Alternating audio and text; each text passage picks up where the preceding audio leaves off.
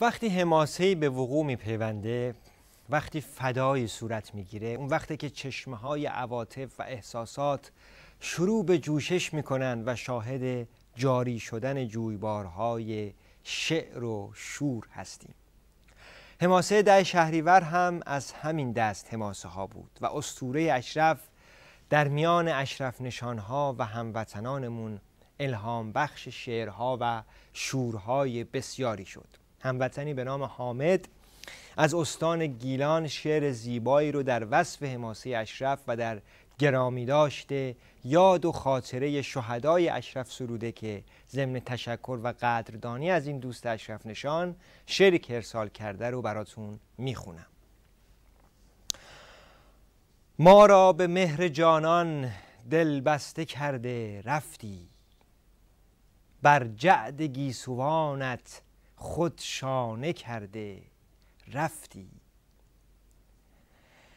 گر جاله می چکد در فقدان رویت مه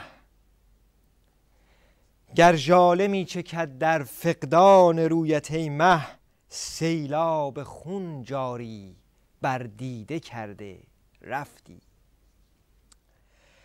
گردآفریدها را دیدی کمند در دست دشمن اسیر آتش در شعله کرده رفتی. دامی که دیو هفت سر گسترد بر سر ما یاران رهانده از دام پروانه کرده رفتی. در قلب تیره شب همچون یلان در آتش خود را فدای یاران یک باره کرده رفتی. در نسل بیشماران چون لعل می درخشی. در نسل بیشماران چون لعل می درخشی. شب را شکست زهره استوره گشته رفتی. در اوج قله گفتی با صخر اهرمن را صد راز اندرین دل در سینه کرده رفتی. گیتی تو را همین بس با زهره می‌زدی چنگ.